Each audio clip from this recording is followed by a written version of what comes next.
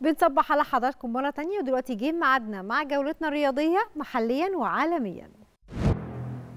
بعثة الأهلي المشاركة في مونديال الأندية بالسعودية. تلقت خطاب من فيفا أكد فيه رفض ارتداء لاعبي الأهلي قميص يحمل الرقم 72 خلال فترة الإحماء. وقال الاتحاد الدولي لكرة القدم في خطابه أن ارتداء لاعبي الأهلي قميص الإحماء المشار إليه قبل المباراة السابقة للأهلي أمام اتحاد جدة يخالف لوائحه التي تمنع أي شعارات دينية أو سياسية أو شخصية لأي سبب من الأسباب.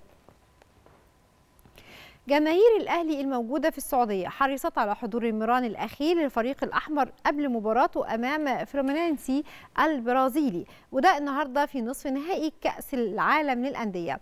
وطالبت جماهير لاعبي الأهلي بضرورة بذل أقصى ما لديهم للفوز على فريمونينسي والتأهل لنهائي مونديال الأندية وصناعة مجد جديد. مروان عطية لاعب وسط الأهلي أكد أن تذبذب نتائج الأهلي الفترة الماضية لن تؤثر عليهم وأن الأهلي بيظهر في المواقف الصعبة وأكد كمان أن المباراة النهاردة هتكون صعبة وأنها فرصة للتاريخ ولن يتركها الفريق أنها تضيع منه. كمان اتكلم رامي ربيعة مدافع الأهلي ووجه الشكر لزملائي في الفريق على المجهود الرائع في مباراة اتحاد جدة وأكد إنها صفحة وانتهت. وقال كمان تركيزنا في المباراة اللي جاية وإن دي مش المرة الأولى إن الأهلي يوصل للمستوى ده وإن الفريق بالكامل عنده الرغبة في تحقيق مركز أفضل في مونديال الأندية.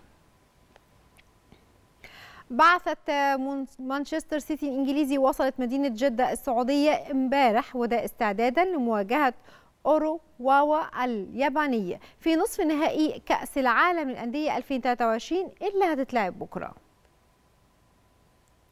الاتحاد الدولي لكرة القدم فيفا اعتمد مشاركة النادي الأهلي في بطولة كأس العالم للأندية واللي هتقام في الولايات المتحدة الأمريكية 2025 بمشاركة 32 فريق. وده بصفته بطل نسخة دوري أبطال إفريقيا لنسختي 2021-2022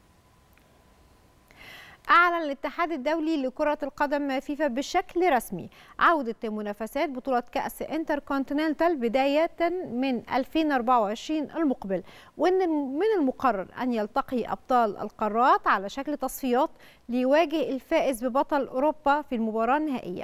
وسيتم تنظيم بطولة كأس إنتركونتيننتال بشكل سنوي بداية من عام 2024 المقبل. امبارح سيطر لاعبين منتخبنا المصري الخماسي الحديث على جوائز بطولة فرنسا المفتوحة.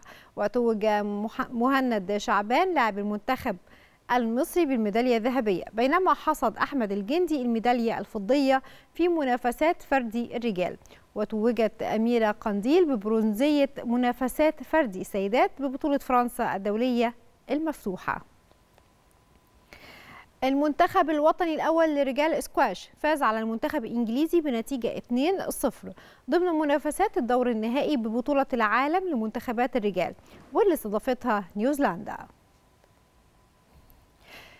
نادي ليفربول المحترف ضمن صفوف النجم المصري محمد صلاح اتعادل سلبيا أمام نادي مانشستر يونايتد في كلاسيكو إنجلترا اللي أقيم بينهم امبارح على ملعب أنفيلد في قمة مواجهات الجولة 17 من مسابقة الدوري الإنجليزي الممتاز ورفع رصيده ل 38 نقطة بفارق نقطة خلف أرسنال صاحب الصدارة برصيد 39 نقطة ومانشستر يونايتد في المركز السابع برصيد 28 نقطة.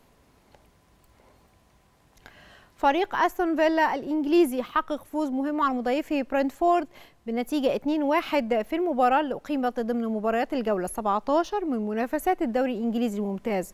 وبكده احتل أستون فيلا المركز الثاني في جدول الترتيب برصيد 38 نقطة بفارق نقطة خلف أرسنال المتصدر وبرنتفورد في المركز ال 12 برصيد 19 نقطة.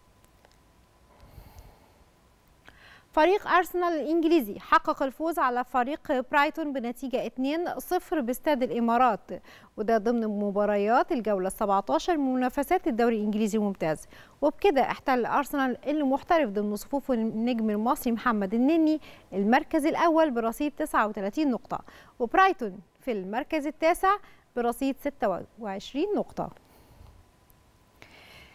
نادي بايرن ميونخ فاز على نادي شتوتجارت بنتيجة 3-0 في المباراة اللي أقيمت بينهم على ملعب أليانز أرينا ضمن مواجهات الجولة ال15 من منافسات الدوري الألماني لكرة القدم البوندسليجا وبالنتيجة دي بيكون فريق بايرن ميونخ في المركز الثاني بجدول ترتيب الدوري الألماني برصيد 35 نقطة وشتوتجارت في المركز الرابع بجدول ترتيب الدوري الألماني برصيد 31 نقطة. فريق روما خسر أمام نظيره فريق بولونيا بنتيجة 2-0 في المباراة اللي جمعت الفريقين امبارح ضمن منافسات الجولة 16 من عمر مسابقة الدوري الإيطالي.